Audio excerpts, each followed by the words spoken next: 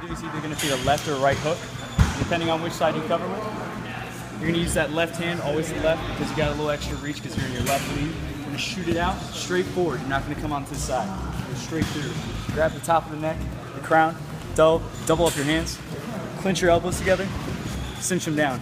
And after that, you're going to turn them out, push them out, get out of range, and then the other side's going to go. So I'm going to throw that hook. It's going to cover, use that left hand, grab me in the clinch, twist me out, throw me. Sweet. Let me see you guys train a little bit.